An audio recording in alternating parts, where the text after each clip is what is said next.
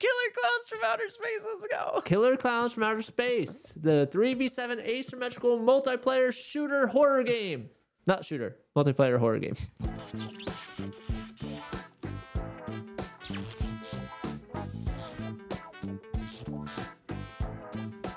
The Dead by Daylight killer. Uh, that's what we said about Texas Chainsaw Massacre, and we saw how. Oh wait, that's not it. But I believe it this time. I don't. I believe in Killer Klowns from Outer Space. This is the gameplay trailer of Twist, or well, not Twisted Towers, uh, Killer Klowns from Outer Space. I'm so excited. Look at these clowns. I can't. This is incredible. Guys, if you're just listening on the Spotify, uh basically what we're looking at is just this like insane Dead by Daylight style uh where the killers are clowns and the death animations are absolutely like miraculous. Yeah, it looks very goofy and and uh, it definitely has a better feel th- than um, Texas Chainsaw Massacre did. You know what I mean? look, Like at it, him, look at him walking yeah. the little balloon dog. it looks so goofy. It's just I over the top, and I think that's why it's so funny and so fun looking. I think that's why it's gonna do better than Texas Chainsaw, because like Yeah. Texas Chainsaw tried really hard to be scary. This Yeah. try this is just being exactly what a video game should be. It's just goofy. Fatality. That's what reminds me of this part. Like this part right here. reminds me of Mortal Kombat Fatality. Yeah. So, and it's cool And this one that you can fight back. And I think that's really interesting. So it's an asymmetrical game that you can fight back, which a lot of the times it's like you can't fight back as much. So, Yeah, and when you when you're looking at Dead by Daylight, 'cause, guys, again, if you're just looking at or listening on the Spotify, what we're seeing is like, um, you know, the survivors have good guns and stuff like that, and like Adam said, they're you're able to fight back as a survivor, which is a thing that like you cannot do in Dead by Daylight. Like, yeah, you can throw down, you know, like you could throw down the board or something, you know, like, and you could stun them with a flashlight and stuff like that. But this is like it's it's actually an opportunity where you as a survivor can fight back and like have a Mhm. definitive win point, and I Yep. love that. yep. And so essentially the, the premise of this game is it's based off of a movie, right? Like the Killer Klowns from Outer Space movie. It is one thousand percent based off of Okay. a movie. Let's. so- do you oh, have the me roll it? trailer? Actually, Yeah, I can roll that trailer. Okay, so yeah, let, let's let's start from the beginning. So, guys, if you guys uh, have not seen this movie at all, this is a classic uh, horror movie from 1988, uh, which is just so incredibly like I don't want to say it's cheesy, but it's almost like it's almost like a comical horror movie. Yeah. like Oh my gosh, the CGI back look in the at day. the CGI. Guys, if you're just and that's listening, cotton I was candy, right? Okay, Yeah, now th- things are starting to connect for me with the Yeah. what the game references and stuff. Oh my Okay, l- goodness. Look at these guys, so funny. this is almost like the birth of like Tron of like Troma movies to me. Yeah. Like just such cheesy B horror movies. Look at that little clown. it pops his head off, I bet. Yeah. Yeah, He yeah. pops his head. Yeah. I love this part too. Uh, the, he does like the little. He's doing like the little shadow Yeah, yeah. puppets. Oh, that it eats the people. Just eat them. no, no, no big deal. Delicious. But it's so funny, dude. Like looking back at this era of like Yeah. horror movies, like they just don't make this stuff anymore. No, and you would never be scared nowadays if you saw this. You know what I mean? Like you would never be scared of this ever. Yeah. Oh, there's the dog. The little yeah. There's the, the dog. dog. And the pizza. Yeah, That's he pops out of the pizza box. Yeah. So like they're they're doing a really good job of like bringing in these movie elements to the Yeah. game. The cotton candy Yeah. gun. Yeah, the cotton candy gun. So many references. Yeah. That's so cool.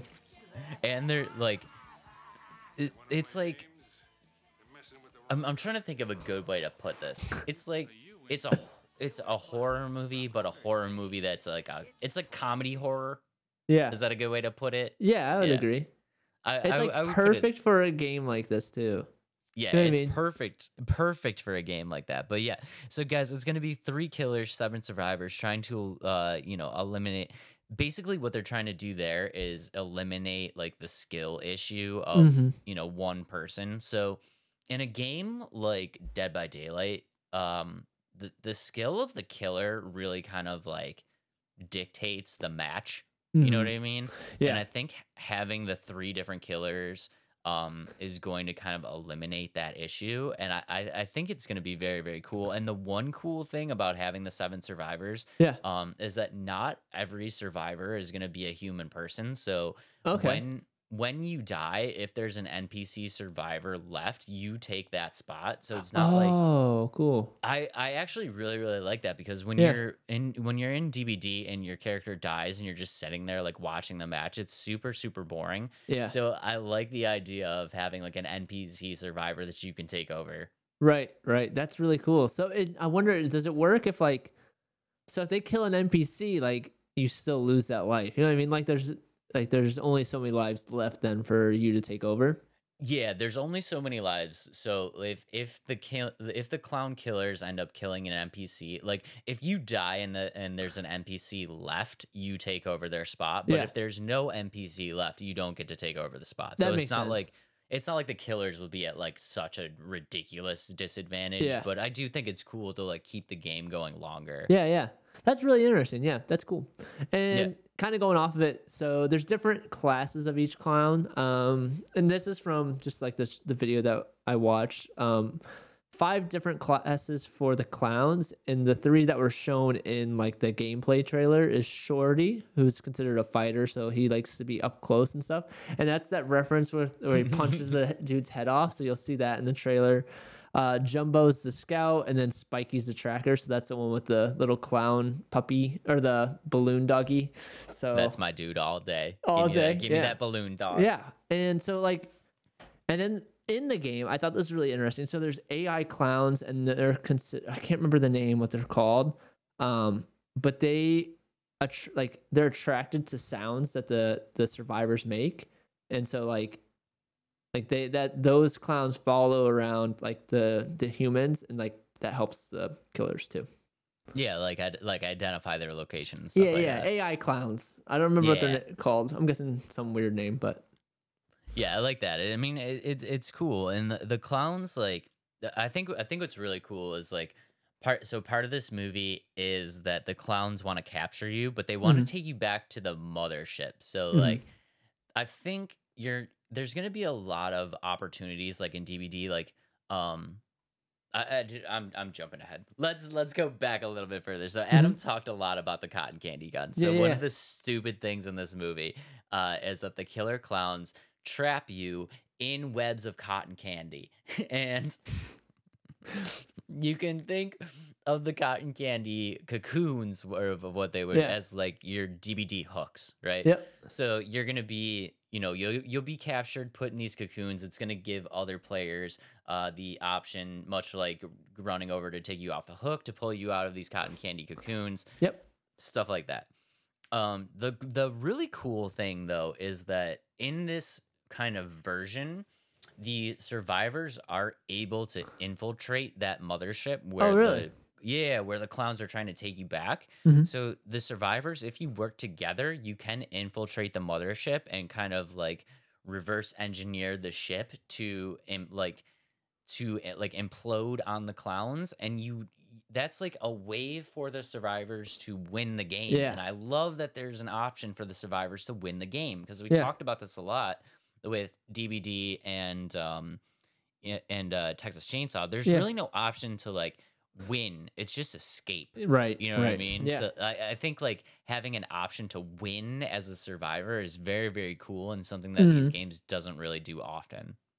Yeah, I was gonna say. So I saw that you can, so you can stop their invasion, like you said, or you can escape. So like, you, there's that option too, and I think there's one other option, but I can't remember what that. I think it's something to do with like the beams of the rays that you see, like, and they look like generators. If you shut those down. Yeah, I think that's like imploding the mothership. Oh, okay, that's what that is. Okay. Yeah, I think that that's what those beams are. So it, to me, it looks like if you if you as a survivor get all of those beams on the mothership, it's like it it like implodes the mothership and it's like an instant win for the survivors. yeah. yeah. That's Yeah, pretty cool. I think it's I think this would be pretty cool. I, I it took us a while to talk about this game because we talked about it like we talked about talking about this game a while ago, but we didn't have much to go off of aside from the trailer. But seeing the gameplay, it makes it seem so much more fun than I thought this game was gonna be. Yeah, it's I I honestly I'm super excited for this game. I think it's gonna be really really cool. I think it's gonna be a lot of fun and like for people that are kind of like over DBD, I think this is like a good like people were over DBD and then they were excited for Texas Chainsaw and then Texas Chainsaw was just trash. I think Mhm. like this will be a good jumping point from people that are like done with DBD but still like the genre and Yeah. like that, you know, want to play want to play with friends and like this kind of style and stuff like that. Yeah. I think this is going to be a great game for them.